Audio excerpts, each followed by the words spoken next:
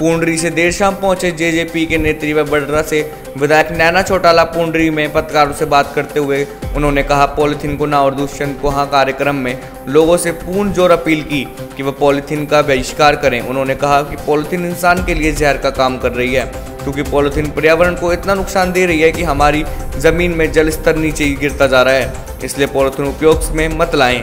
उन्होंने महिलाओं से अपील की कि वे अपने पुराने कपड़ों जैसे चद्दर आदि घर से पुराने कपड़ों की थैली बनाकर प्रयोग में लाएँ।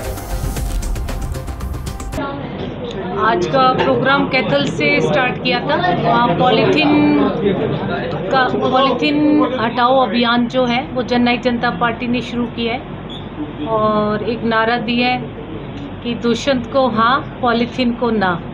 तो एक अभियान जो है, वो जननायक जनता पार्टी ने आज से शुरू किया है तो हर ज़िले में जहाँ जहाँ हमारी चुनरी चौपाल करेंगे, वहाँ महिलाओं को कपड़े से बने हुए जो बैग है, वो हम लोगों को, महिलाओं को देंगे ताकि महिलाएँ जो हैं, वो पॉलीथीन को छोड़ें और चाहे वो जूट का बैग हो, चाहे वो कपड़े का बैग हो, उसके प्रति जागरूक हो, क्योंकि पॉलीथीन जो है, वो हमारे पर्यावरण को बहुत ज़्यादा दूषित कर रहे हैं। तो धीरे धीरे मुहिम चलेगी तो ही हम लोग जागरूक होंगे। मैडम, सरकार को बैन लगाना चाहिए फैक्ट्रियों पे, कि दुकानदारों पे लगाते हैं क्या?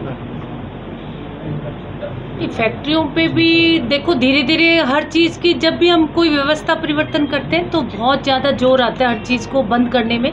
तो सरकार भी अपने लेवल पे बहुत ज़्यादा लगी हुई है और काफ़ी हद तक हम इस चीज़ को बंद करने में कामयाब भी हुए आज किरियाने के स्टोर पे भी ये जो बैग्स हैं वो न्यूज़पेपर्स के वैसे पेपर्स के बने हुए मिल रहे हैं। तो पॉलीथीन धीरे धीरे बंद होएगा टाइम लगेगा इस चीज़ में। पर हर आदमी अगर जागरूक हो जाए और प्रण कर ले भी। मैंने पॉलीथीन यूज़ ही नहीं कर, करना तो शायद हम कामयाब हो जाए। मैडम ये योजना लगभग पाँच छह सालों से चली हुई